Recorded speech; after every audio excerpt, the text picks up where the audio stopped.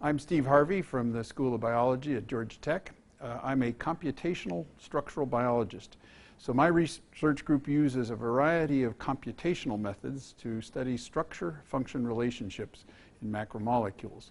We collaborate with both theoreticians and experimentalists as well in all of this.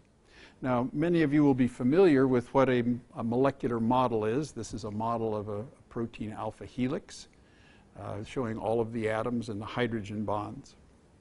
We work with models at the atomic level.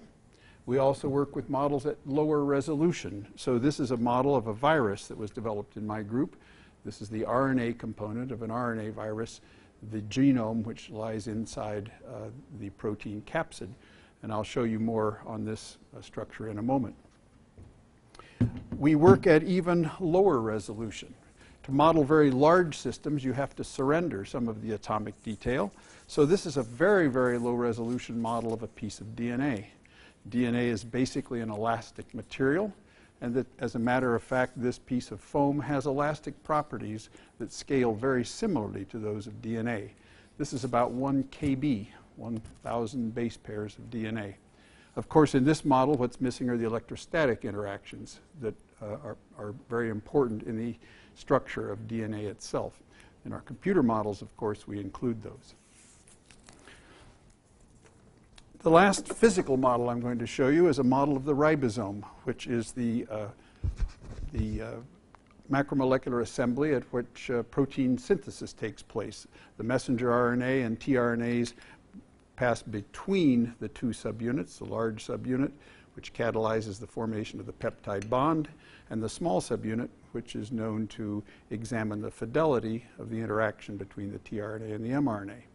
Now, this model shows what we knew about the ribosome in the late 1970s. This was all we had was the shape.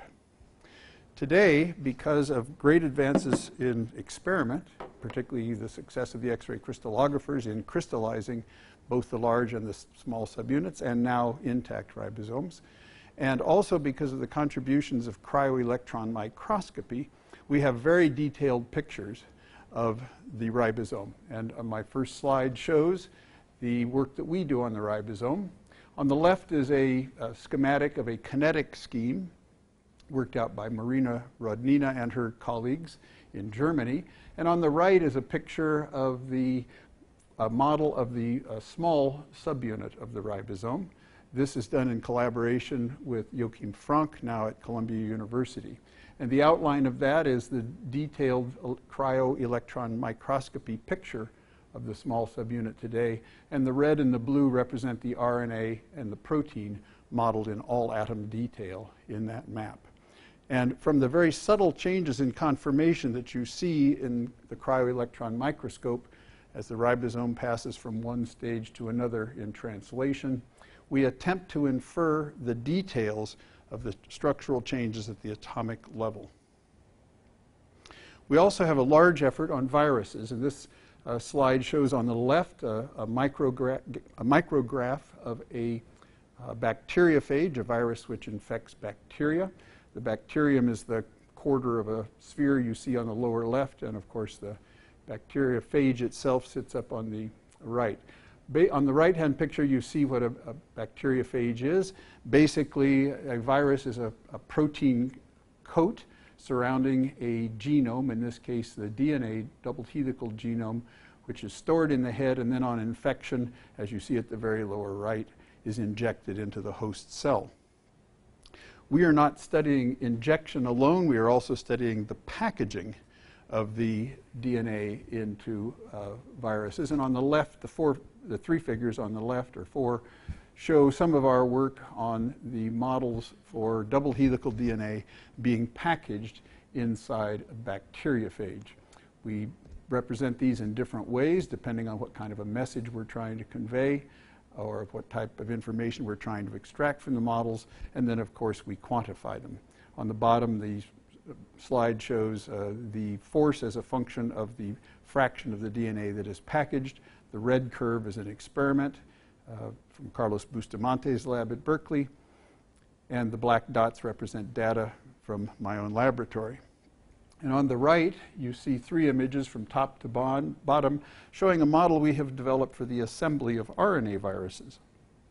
Small RNA viruses, uh, the protein capsid does not assemble until the RNA is present.